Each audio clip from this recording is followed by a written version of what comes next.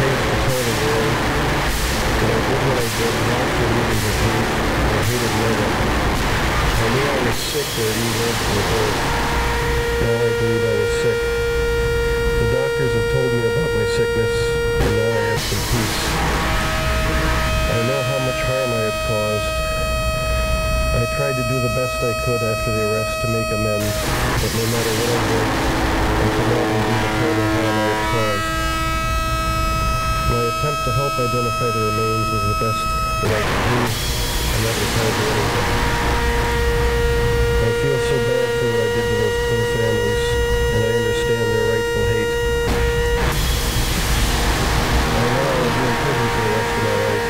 I know that I will have to turn to God to help me get through each day. I should have stayed with God. I tried and failed and failed at a Holocaust.